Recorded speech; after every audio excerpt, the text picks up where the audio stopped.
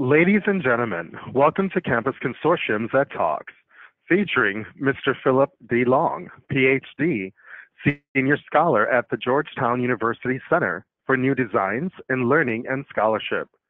Today's topic for Ed Talks is the next step after blockchain basics. Our presenters include Mr. Phillip Long, Senior Scholar at the Georgetown University Center for New Designs in Learning and Scholarship, and Mr. Vincent Lamba, Vice President, Community Engagement at Campus Consortium. We will take questions at the end of today's presentation that have been typed into the chat box or questions pane in your GoToWebinar control panel. Without further ado, please allow me to present Mr. Lamba and Mr. Long. Over to you, Vincent. Thank you, Roger, for the introduction. Good afternoon, everybody.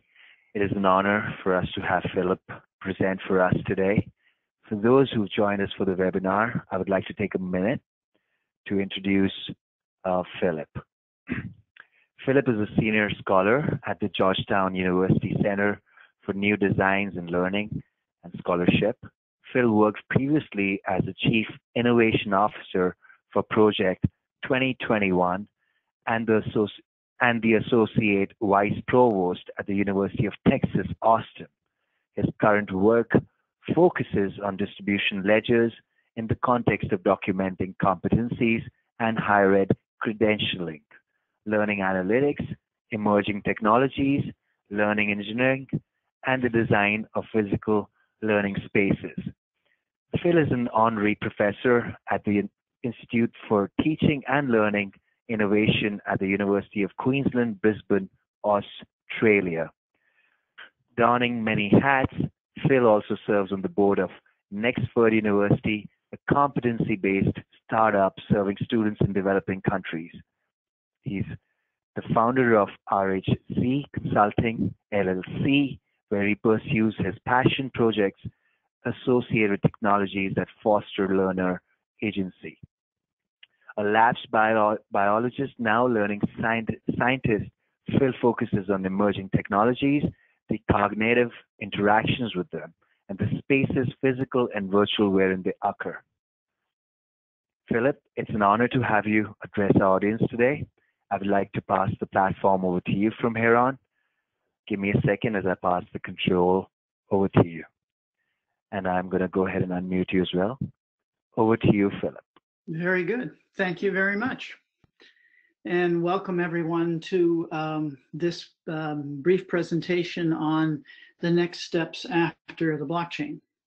So I'm going to assume that you sort of have a blockchain basics understanding um, and that when I refer to that, um, you're at least generically aware of, um, of what a blockchain is.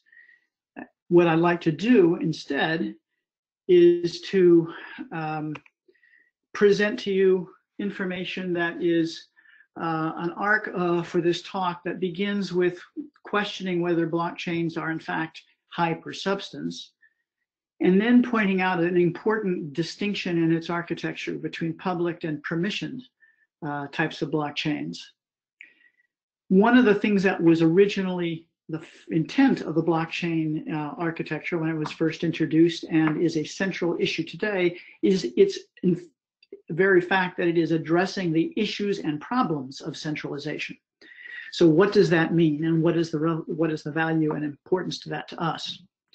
Then I want to give you a use case that's being developed as we speak as I'm working with Arizona State University in an application of blockchains for credentialing.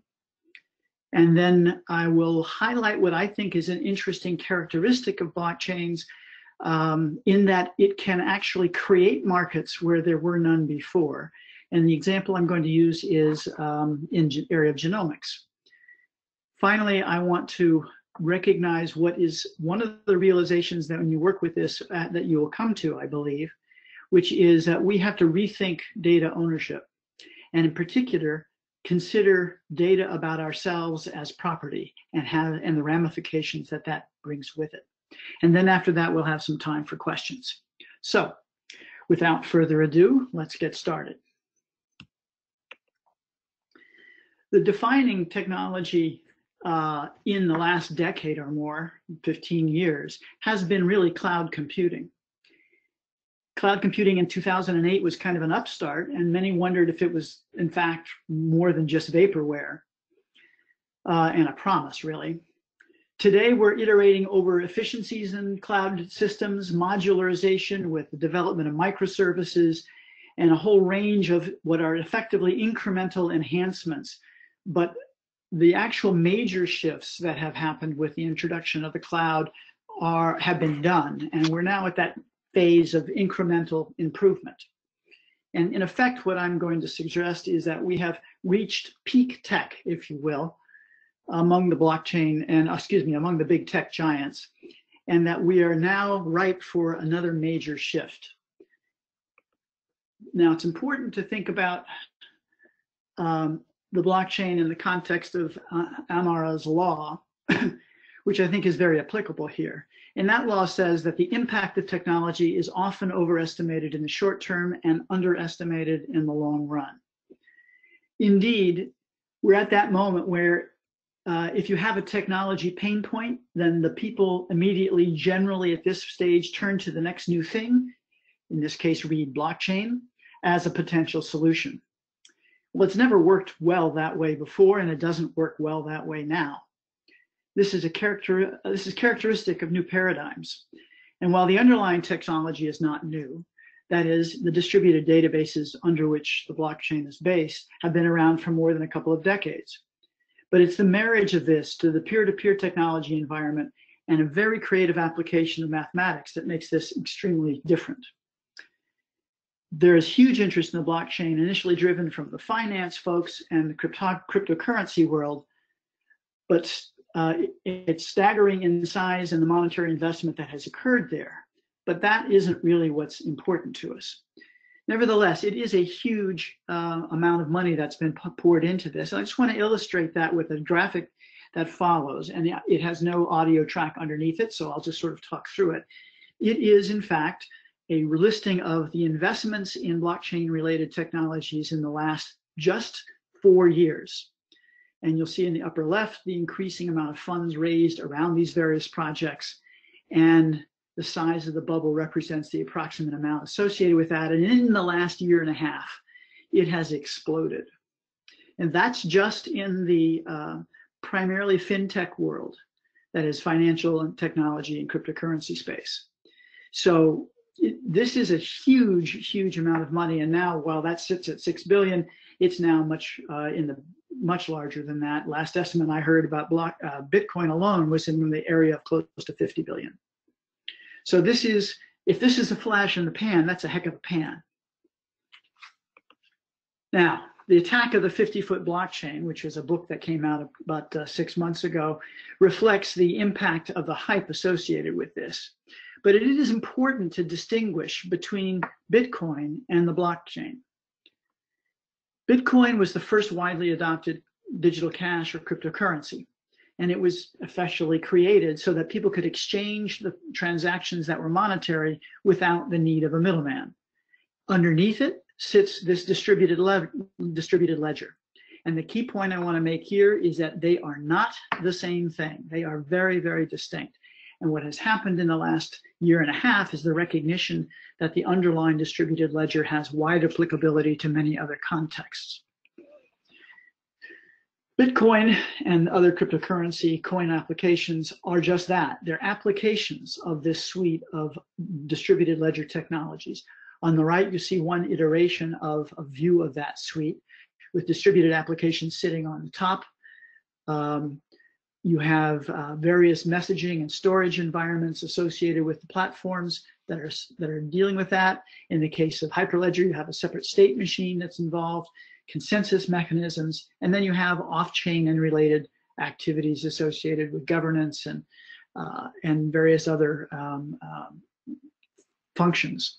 And then underneath that is the actual crypto, uh, the cryptographic um, uh, methods of, of protecting data and transport protocols. So this is an entire stack of technologies that are underlying this that you should not confuse with a particular application. What just happened here. There we go. So you have a distributed ledger set of suite of technologies, and the key point to remember is that it can be programmed to record and track anything of value. It happened that money was the first thing of interest, but anything that is digital and that has value is equally a candidate for consideration. And there are all kinds of consensus algorithms. You all know about proof of work, which is the solving of cryptographic puzzles, uh, which has gotten to be the bane of the Bitcoin world in the sense of the amount of energy that's expended to do that. Um, you have uh, proof of stake, which involves a method by which your actual contribution to the environment is a propor gives you proportional representation in making uh, claims for being able to commit records in it.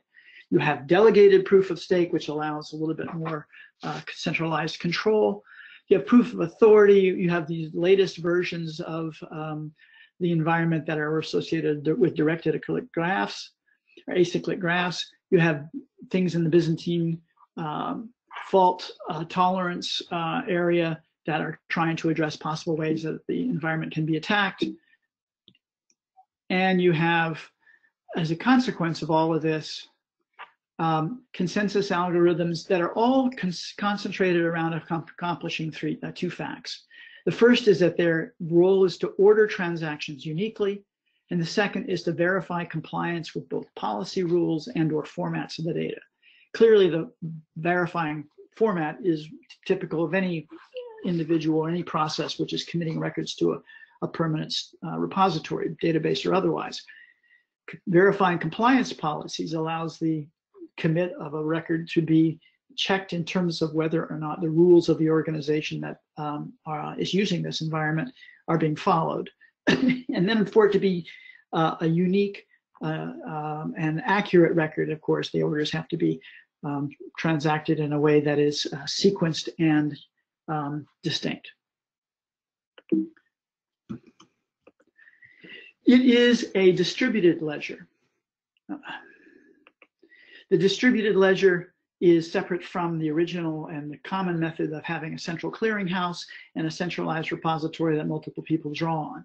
And that's what gives rise to this notion of multiple nodes. And if you're familiar at all with, uh, with the Bitcoin backends, all the different nodes in the networks have the opportunity to run a copy of the ledger, et cetera, et cetera, which leads to both a democratization of the process, but also leads to performance issues the key thing that is emerging here is that all of the original blockchains, that is Bitcoin and original Ethereum, uh, Main and others, have been public blockchains. That is to say, anyone can participate. they are permissionless and anonymous. The security to be their whole design, the, the, the brilliance of the design of the network was to allow individuals to participate fully who may in fact be attempting uh, nefarious acts to disrupt things and to design a system which made it more rewarding to conform to the rules than it was to try to hack the rules. But the consequence of that is that the blockchain transaction rate is relatively slow. Bitcoins, for example, is seven transactions a second at its peak. Private blockchains can exist. They are no different than, in that case, um, a single organization with multiple copies of uh, a repository they are permissioned in the sense that they have access that's associated with uh, the credentials of the organization, and therefore everybody is known in the environment.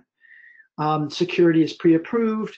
Typically, the methods for committing records involve some method of voting or multi-party consensus, and they're much faster. But that notion of being in a single organization uh, eliminates many of the potential values that the blockchain affords. And it is the federated or consortium kind of model that people seem to be focusing on quite appropriately, where you have multiple organizations together that already have some form of trust relationship among them. Therefore, the environment uh, is based on a permission basis. Not everybody can play, only those that are part of the organization. Therefore, the ent entities in there are known. And like the, the uh, private environment, uh, pre-approved participants and voting along the lines that can be as simple as um, we associate Sally Smith to be the committer of these records and everybody agrees. And that's that. Or you can have more elaborate consensus mechanisms. And they are, in fact, considerably faster in their performance. So what does the centralization of data risk? Why are we bothering with this whole method of blockchains that distribute records across multiple nodes? And what are we trying to mitigate? Well, the web has centralized around a handful of corporate providers over the last decade or so, and these platforms have enormous influence. Decentralization is less corruptible and more resistant to corporate or political regulation and censorship. But economies of scale can be achieved with centralization that provide efficiencies and cost reductions. And so the question is how to reach a balance in these matters. You'll see on the right-hand side of the slide that there is a list of those uh, organizations which have the largest market share or capital share, beginning with Amazon and then continuing with Alphabet, Google's parent, uh, JD.com in China, Facebook, and then a string of other Chinese companies, Tencent, Alibaba, uh, Alibaba, and uh, Booking Holdings, and and on down to the last being eBay in this list of 10, which correspond to roughly a half a trillion dollars valuation. So that's what our current environment is looking like, and those players are getting bigger and stronger. Sorry. Now, God darn it, I'm Let's remember the problem. We place our trust in organizations that are maintaining our data in a central place. And there are rules and various other things around that organization and such which we have invested in and which limit our ability to manage and manipulate that data. Centralized systems as we all know, are single points of failure. And so we try to do various things to, to protect against that with huge amounts of effort spent on, on backups and redundancies in various forms. But nevertheless, they are in fact single points of failure. How big is that a problem is that?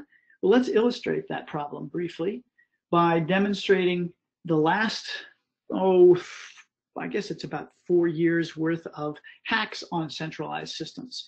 So what you'll see here, if this plays out nicely, and we'll see if we can get it to run, there we go, is a list of hacks that have happened since 2004, and the approximate size of the circles represent the amount of data, in this case, mostly user records that have been stolen in the process of these hacks.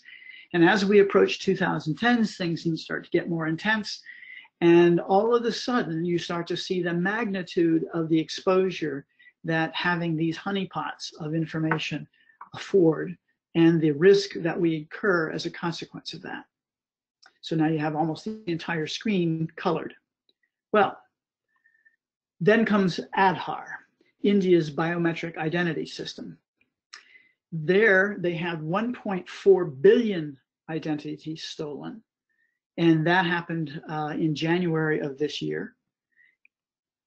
And of those 1.4 billion, um, the the uh, organization was actually a newspaper um, reporter that was able to buy the 1.4 billion worth of records for a total of eight dollars, and for another uh, ten dollars was able to get uh, fabricated identity biometric cards for any of the particular records from that set that's pretty astonishing. So we have now something on the order of 2.5 billion uh, billion user records that have been stolen. And I just learned this morning there's another hack um, that happened in the last few days.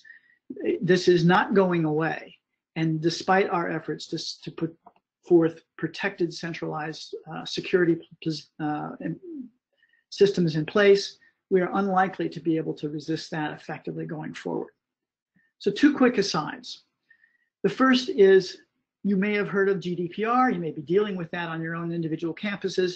And in the context of blockchains, the question is, what does GDPR have uh, to do with blockchains? And in fact, does the right of erasure, so-called, uh, in the GDPR um, tend to mean that blockchains is not a viable technology going forward?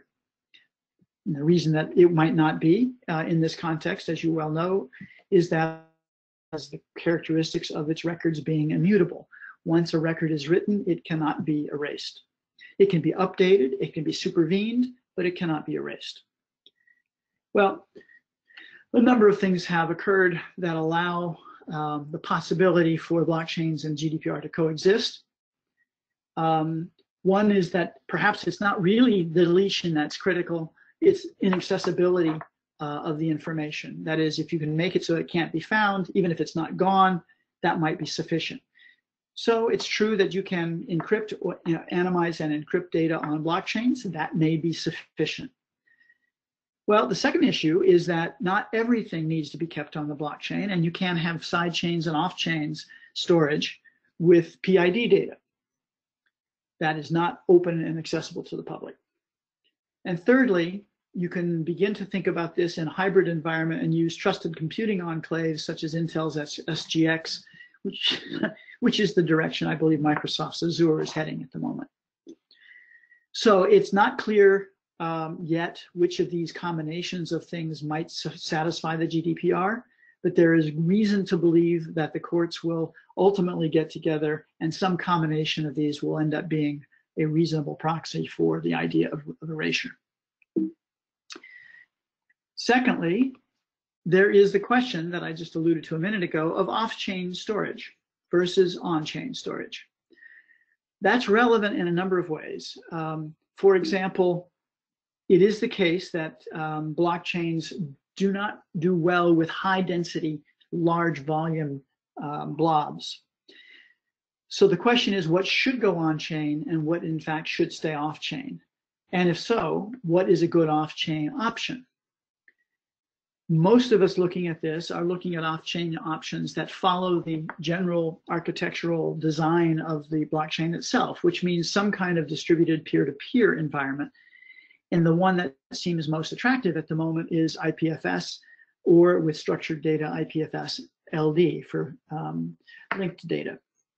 While those are still uh, nascent technologies in many ways, they are being explored currently and looked promising as a method by which data can be linked via a pointer on a block from a block, but that link can be both hashed and encrypted so that the off-chain stored location can retain the characteristic of immutability in that once something has written, you know that it has not been modified or changed if the link to that idea, to that um, object is both hashed and, uh, and encrypted itself.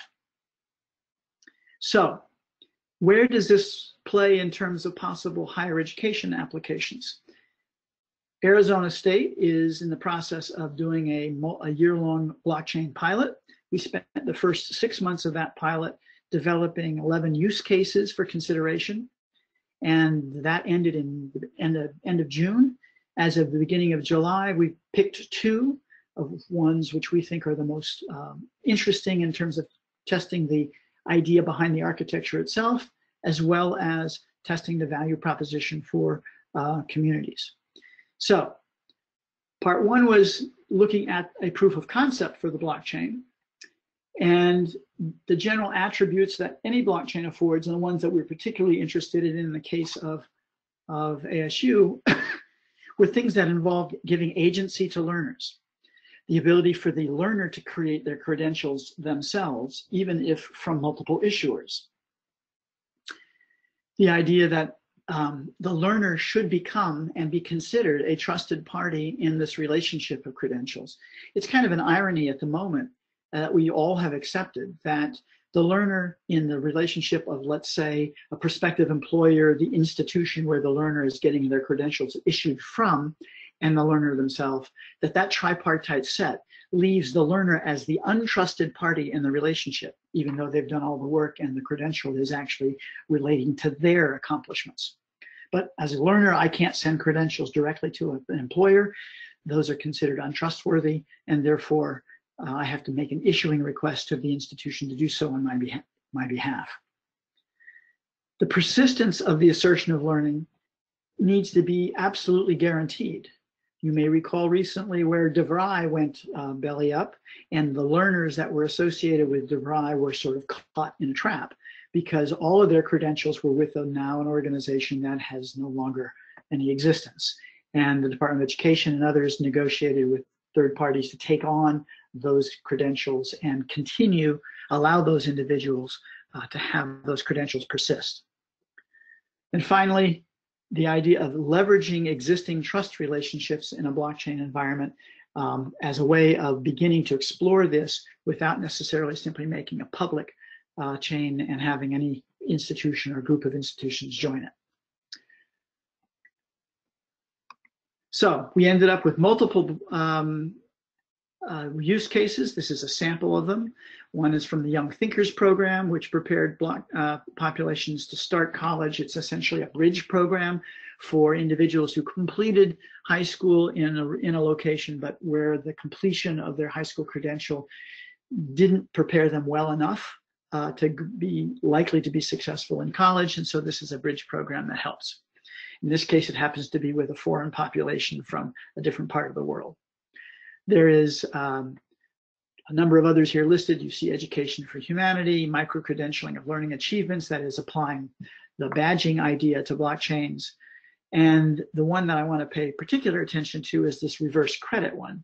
And that's of interest largely to four-year institutions, probably more to public four-year institutions than, than private.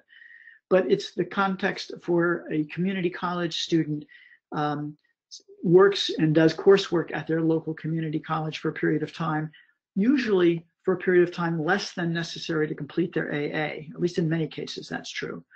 But they use that time to demonstrate they can do the work and save some money. And then they transfer to a four-year institution with whatever credits transfer with them. And they continue towards their BS or BA at the four-year institution. Well, it turns out in doing so, many students actually complete the requirements of their AA degree through the courses they're taking at the four-year institutions. Some institutions have systems in place to try to address that for those community college immediately proximate to them or which are the biggest feeders to them. But it's a relatively arduous manual process involving multiple reports and cross-checking. What we're looking at in this case is to establish the aggregation of courses at the community uh, at the community college before they transfer and put them into a course map that is in, entered into the blockchain. And then the additional courses while the student has moved to the four year are added to the blockchain and a smart contract looking at the timing and the possible uh, convergence of the four year course requirements and the remaining two year course degree requirements.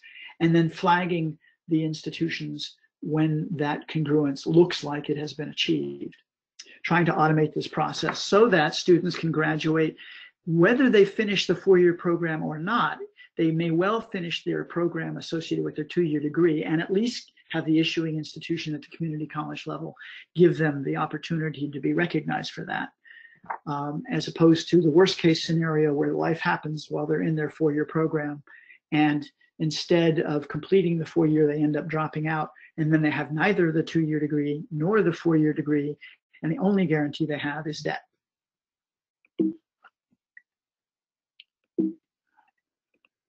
So the second phase of the ASU project in this proof of concept was a bake-off between Hyperledger and Ethereum. In this case, a particular Ethereum permission flavor from uh, JP Morgan called Quorum. The idea was we wanted to make uh, an assessment of the developer community and support community and third-party corporate community um, around these architectures because it's it's a risky space. We want to make sure that when we're investing in even in a proof of concept, we have an environment where there are people around who are accessible and talented and responsive to be able to give us a hand. And so that's where we are right now. Hyperledger has been installed. Uh, this week, the sprint is involving uh, the implementation of the Quorum Ethereum flavor.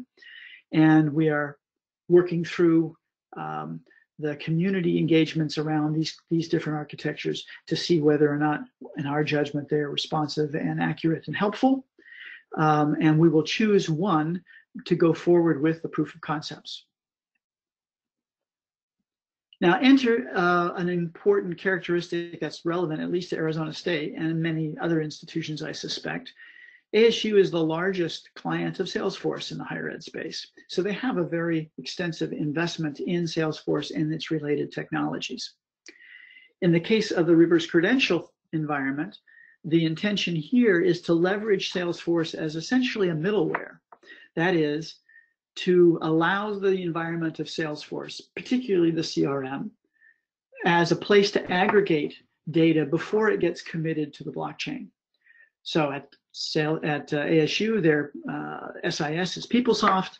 Um, the notion here is that we will be pulling data from PeopleSoft and moving it to the to the CRM, along with other related uh, achievement data, whether that is uh, badging information or other sorts of extracurricular information, and essentially creating the personal persistent record of the learner in the CRM environment.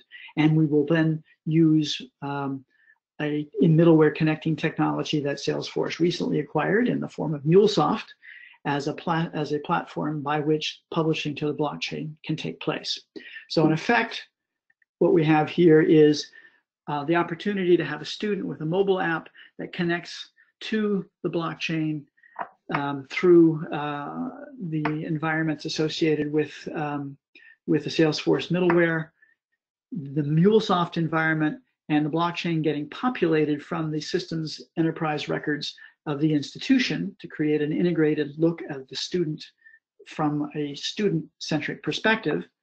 And then the, you know, the comparison we mentioned earlier of Hyperledger as a possible blockchain environment, or alternately, um, and publishing back and forth from the Salesforce to it.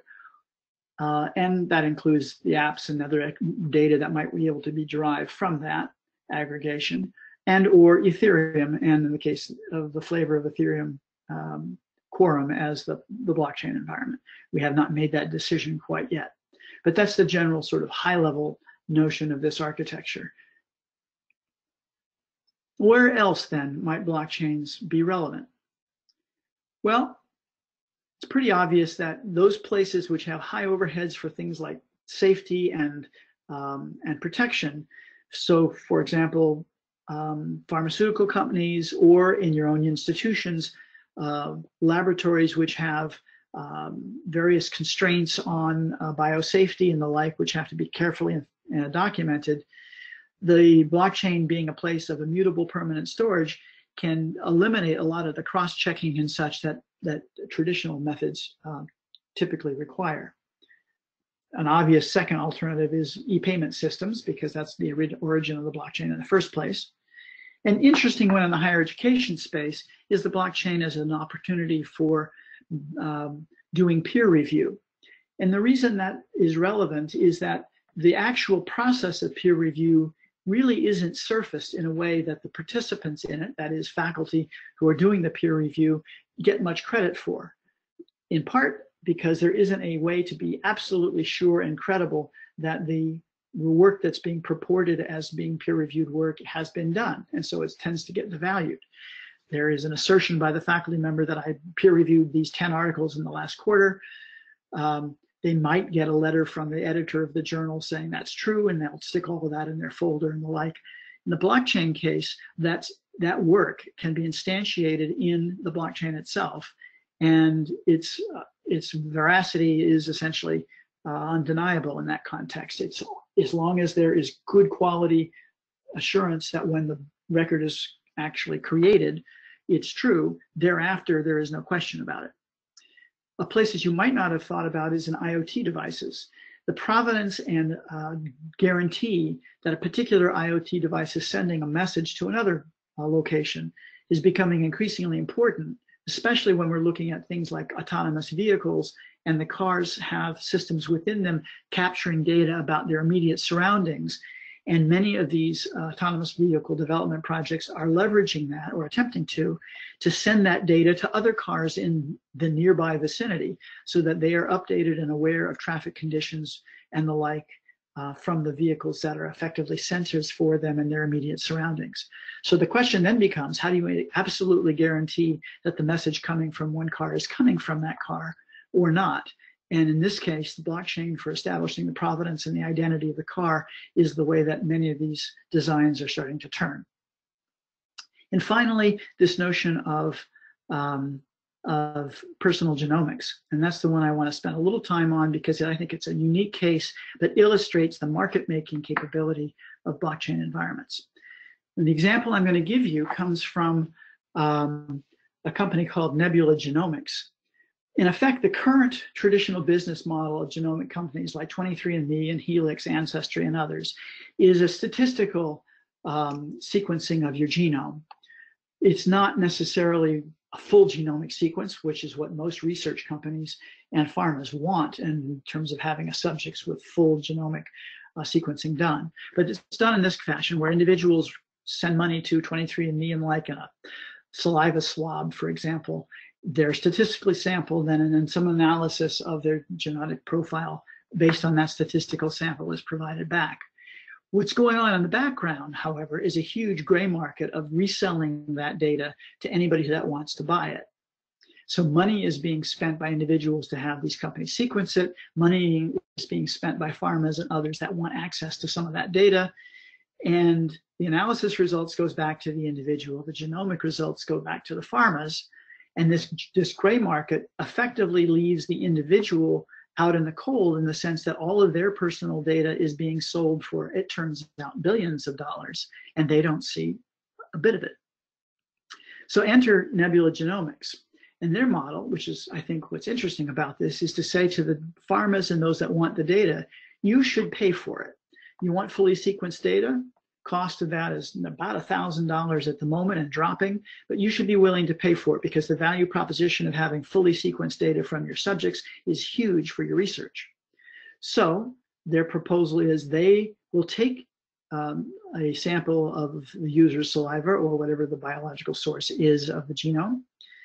They will sequence it entirely with money that the pharma provides, but the data will be instantiated in a blockchain and the access to that is given back to the individual.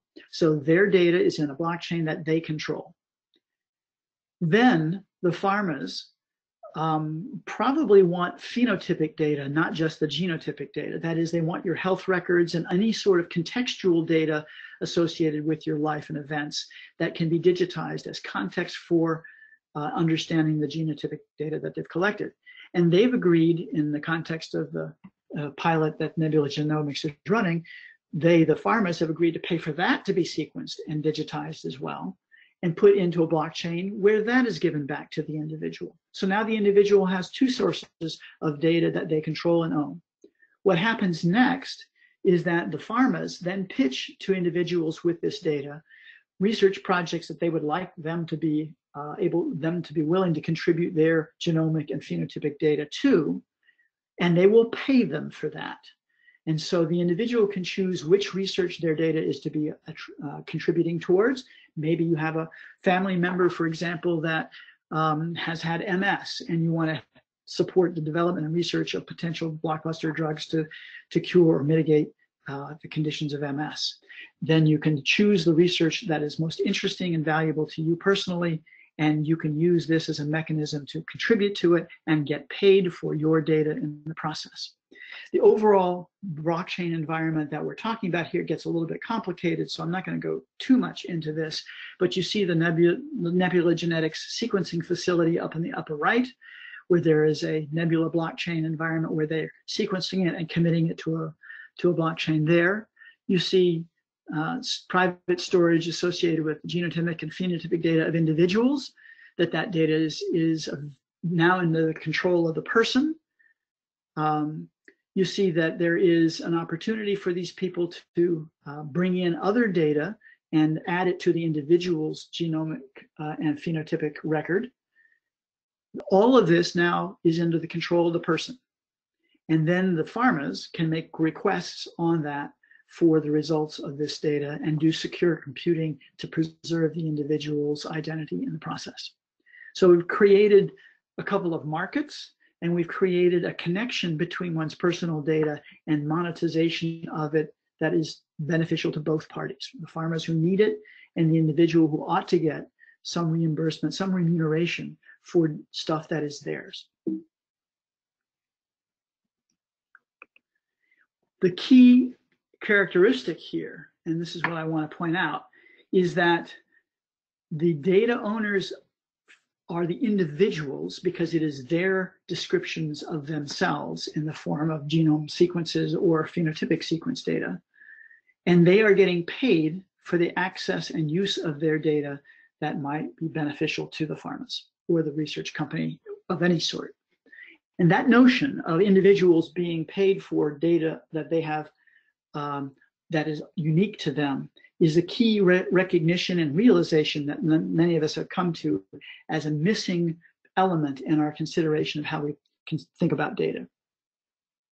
Now, just as a, uh, a brief aside, the support services around blockchain research and blockchain uh, systems is rapidly growing. So you have Salesforce and now has a, an application where you can spin up a blockchain from Heroku with just a few commands.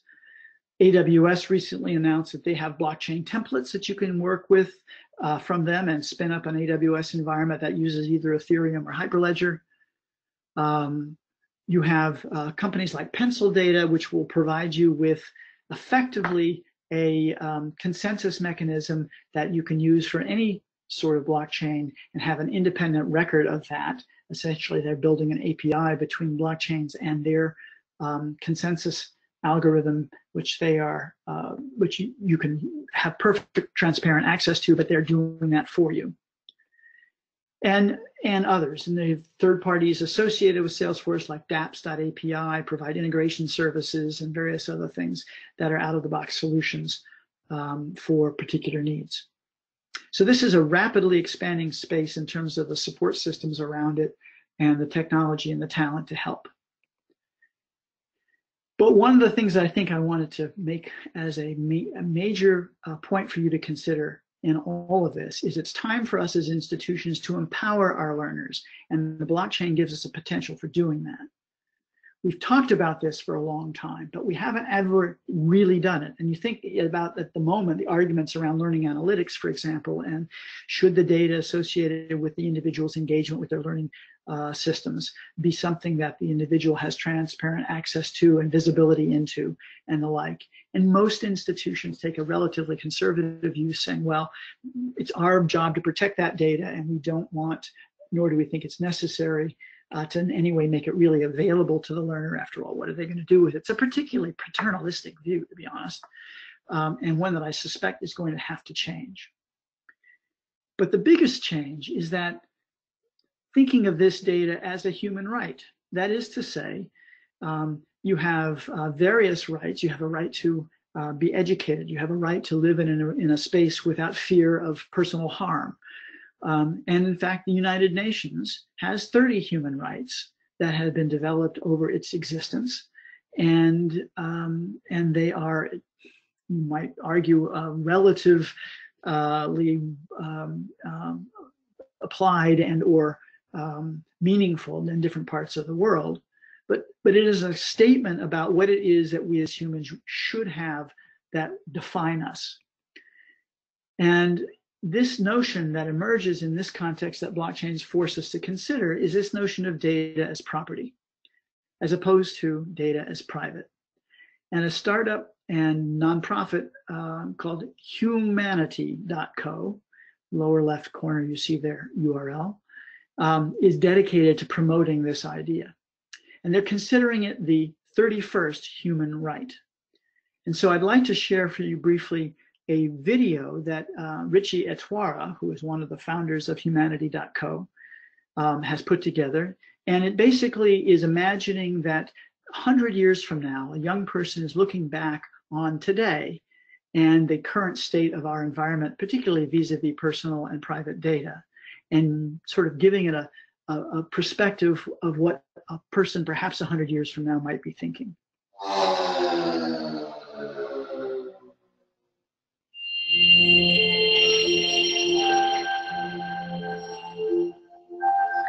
I'm so thrilled to be here today. I, I, can't even believe that we are already at 60 human rights.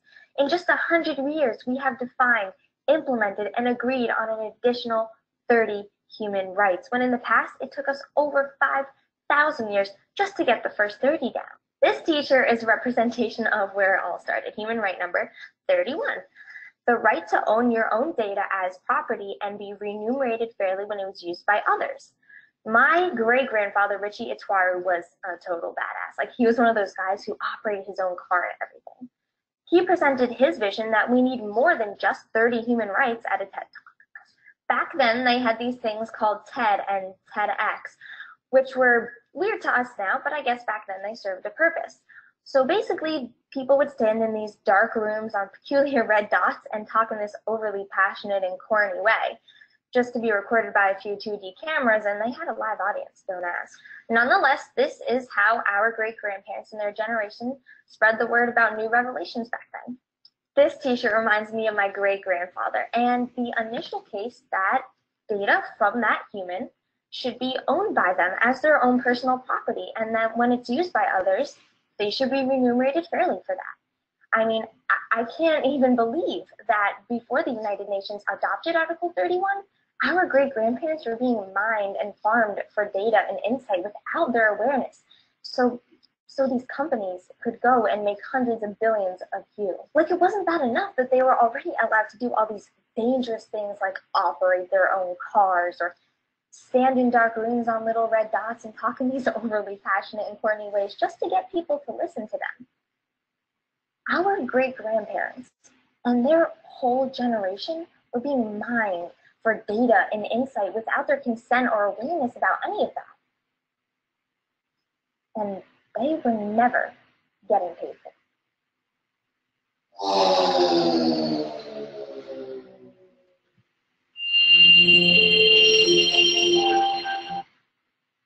So that's a view that um, may well be a perspective from 100 years from now. By the way, that young lady is actually uh, uh, Richie's daughter, um, and her name is Nima. Um, the point of all of this is that we need to start thinking about what would happen, what we would need to do to champion this notion that there is the choice of the individual to dispense their data as they wish and not have it simply happening in the in the dark or gray web behind the scenes that are making uh, huge profits for companies on data that's yours. It's your property. It should be your discretion to be remunerated for it. And uh, and so I think one of the things that's certainly come to my attention in dealing with this space is the fact that I had just no real conception of the implications of this. And the implications are absolutely enormous. So thank you for your time. I hope we have some time now for comments, and I look forward to questions that you might have. Thank you, Phillip. Okay, um, we are now going to take questions uh, from the audience, and uh, we already have some uh, questions coming in. So, Phillip, there's a question from uh, Mary Thompson, and uh, she is uh, from University of Wisconsin-Madison. The question is, let me just read that out. In the Nebula example, what might happen when insurance companies get involved? So, um, I mean, insurance companies are um, likely to be concerned um, because they may see a potential drop in their revenue. I think their primary interest is going to be the veracity and the truth behind the the um, uh, assertion that's being made that the data that's individually owned is in fact sufficiently protected so that it is not um, manipulated and or possible to commit fraud around. That would be my guess that their biggest concern is going to be that this could be somehow fraudulently um, attacked and exploited in ways that they as insurers might end up holding the bag for. Um, what we have seen in the last 15 years uh, and in particular in the last 10 or 11 with um, things like the financial uh, coin space and the cryptocurrency space is that there have been tons of attacks and hacks on various um, things like wallets or third-party exchanges. There has never been a successful attack on the chain itself and the data therein. So while there are, are uh, there is a lot of work to be done and I don't want to minimize the areas where there is um, uh, where there are challenges remaining, particularly around things like key management and such. Um, nevertheless, I don't think that the insurance companies are are going to find this to be um, uh, ter terrifically problematic. Uh, it may, you know, their worry is it may diminish their value. Just as anytime there's an opportunity for the elimination of the middleman, the middleman that stands to lose is going to have some concerns about that. Thank you, Phillip. Uh, Mary, I hope that answers your question. If you have a follow-up, uh, you can, uh, in fact, yeah, you can, you know, post your follow-up question on, you know, the chat uh, portion of the question pane. Um, there's another question coming coming in, and this is from Warren Smith. He asks about blockchain. He's saying blockchain underpins cryptocurrencies such as Bitcoin and Ethereum, but I would want to know what might be the risks to blockchain when applied to a university with a full-time em employment of about 20 to 30,000 students. So th that's where this notion of um, uh, permission versus public becomes really critical. Um, in a permissioned environment, I mean, the whole, let me backtrack. The whole point of a, of a coin in this, uh, in this public um, uh, blockchain environment is in many ways um, twofold. It is to um, be able to obviously exchange something that has got publicly attributed value through a, um, through a market um, with one another in it for the transaction of purchases and goods. But the other thing that it does is provides a, a mechanism, a reward structure to keep participants who otherwise may be um, uh, none, not trustworthy parties from otherwise disrupting or um, or uh, walking away with access to um, the the uh, the assets of the of the blockchain. And so the purpose that that behind ETH, um, Ether and and um, and Bitcoin has two two goals. One is to be able to handle those commercial exchanges, but the other is to provide incentives for the maintenance of the integrity of the system. That's essential when it is public and anybody is allowed to join.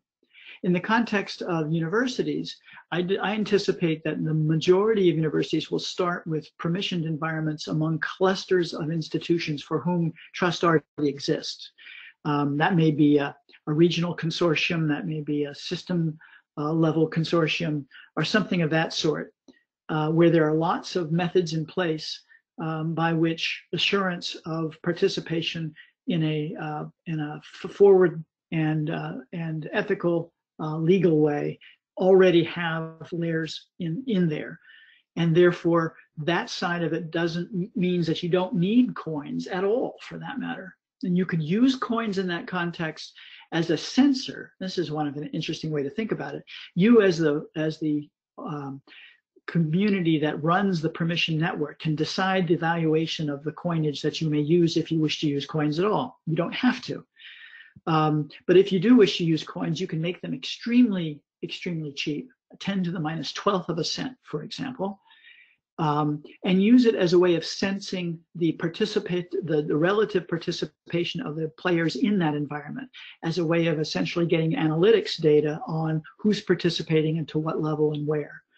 Um, that could be useful uh, from the purposes of monitoring system use and, and validating that there is uh, everybody in the consortium in terms of membership is making equal contributions or et cetera to, to the work involved. Um, so, so you have to be careful. I, I don't think we're going to see most registrars, if you're thinking about credentials, for example, uh, most registrars comfortable with the idea that their uh, registration data is going to be in a public blockchain that you know one company that is um, out there doing work in this space, uh, that company is Learning Machines, and they have been very careful to make sure that the only thing on the blockchain record is in fact essentially like a notary transaction that a particular event has occurred. That is, I achieved the certificate at the end of this course, and here's the timestamp, and here's the date stamp, and here's the issuing institution. But all of the data PID data and other data about that issuance still resides in the individual campus. And so the registrar and the campus hasn't offloaded any of that responsibility to the blockchain at all. They're using the blockchain as a, as a third party notary in effect. There is value in doing so, um, but it is not, in my view, the most interesting and useful potential value, value proposition for a blockchain.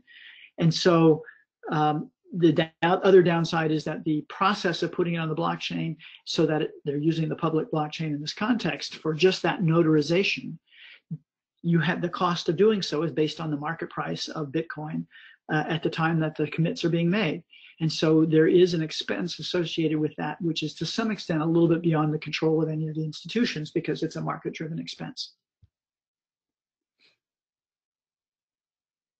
thank you phillip uh, and I hope that answers uh, uh your question, Warren. Uh, there's another, quite a few questions coming in, uh, Phillip, so let me run through. there's one from Rob Curtin. Rob's from Microsoft. he's asking, saying HE is the middleman for competencies. Why would institutions with brands want blockchain to succeed? And if the brand, branded schools are out, how will this take off? Ah, good question. And uh, so there's two things.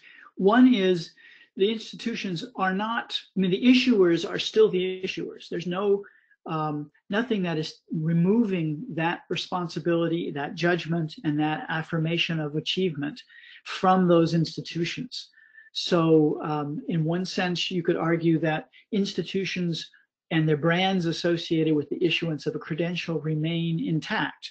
The institution is still guaranteeing that the learning that this individual achieved by their participation in the courses for which they were responsible is in fact um, a, uh, truly represented by the certification that has been given. Uh, whether that certification is a certificate, whether that's a BS or BA or, or something other than that, the institution still owns that and that's still tracked.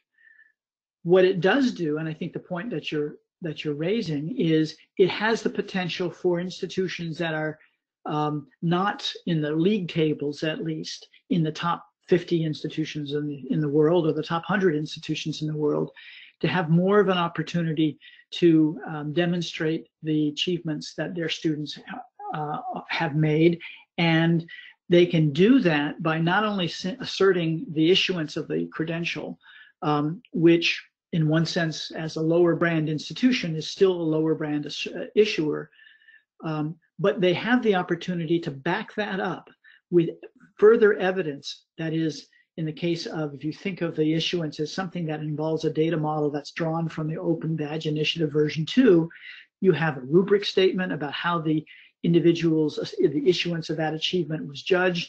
You have a opportunity to say these are the in fact the assessment methods and here is the ontology of these assessment methods that were applied to make that judgment. And you even have an array of student work that you digitized work that you can point to and say and here's what the student work was work by which this judgment was based and which justifies the assertions that we're making. And my guess is that that could in fact threaten the existing um, credentialed branded institutions to some extent because all of a sudden you're seeing students that are doing things at mid what was formerly a mid-tier or lower tier institution which for all the world look like they're being appropriately judged that the students work is pretty good and that maybe that institution um, needs to be thought about something somewhat differently. Thank you phillip. And uh, rob i you know i hope that answers your question. You can reply to us in the questions uh, uh, panel. Uh, there's another one coming in from Steve Lovas. Uh, and uh, Rob says thank you, sir. Rob, uh, uh, thank you. Steve from Colorado State University is asking Phillip, is there any structure to signal privacy security practices on the back end for off-chain storage, as you've described with learning machines? Um, let me see if I understand the question correctly. Um, privacy and so if you're uh, off-chain storage in some in the traditional sense, so the places that that um, uh, currently manage their credentials and the like as they always have, um, have their uh, have their uh, student information systems and all that behind their um, you know, could be a Kerberos-based environment, or it could be a, uh, various other security environments. Um, and they're doing their best to make sure that that data is not compromised in any way. Um, my, my claim and the reason that I presented some of those slides is to say that even the best efforts to do so are ultimately doomed to failure at some point. It's not a question of if, it's just a question of when. So um, I suspect that you will start to see that those off-chain back-end systems begin to import and and layer onto them in further, in my view, somewhat futile, but further attempts at uh, ensuring service uh, security, some of the encryption mechanisms that are emerging from the blockchain world. Um, and that you might very well see that as um, additional attempts to um, to keep those centralized resources more protected than they have been. But I think that you know something that I know the libraries learned a long time ago when it comes comes to repositories. Um, they have a concept that's referred to as LOCKSS. Lots of copies keeps things safe.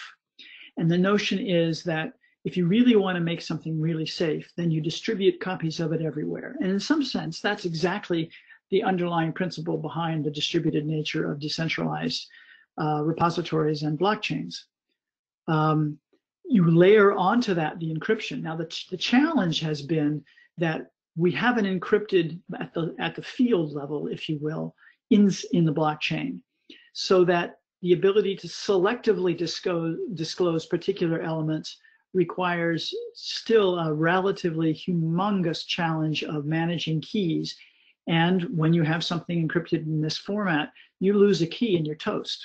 there is no way to recover that. There is no backdoor. There's no regeneration process. There's lots of things people have done to try to give you know, multi-key signing so that the data is still accessible by a majority of five other key signers who you trusted and given uh, a, a, copy of a key to. Um, um, that they all have to be put together in order for the lock to undo, et cetera, et cetera. There's various ways that people have tried to deal with this. But um, ultimately, um, I think that the off-chain storage, the most effective thing is going to be to encrypt it, to have a, a fingerprint essentially to the link to it from the chain, and thereby you preserve both the security of it, but also the fact that's the key evidence uh, uh, or a key attribute of the blockchain that no one manipulated that off-chain stored object uh, during the time it was um, between which the original blockchain-based certification of its existence and its value has been generated and the time that the person looking at, at it now, uh, time t plus n, um, is is viewing it. Because if if there is not certainty that that provenance has been maintained and that immutability has been maintained then then its value is very very low. Thank you phillip and uh, stephen i hope that answers your question okay i uh, think that is about that we don't have any more questions to to uh, relay over to you phillip Mm-hmm. And uh, yeah, I think uh, we can proceed. We have come to the end of today's session. Phillip, I would like to thank you for presenting for us here today. Uh, it's been a it's it's been a total honor for us to have you here. I would like to thank uh, about 80 institutions that joined us today. Uh, you know, Campus Consortium has been dedicated to hosting these kind of ed talks to bring contribution to the higher ed community.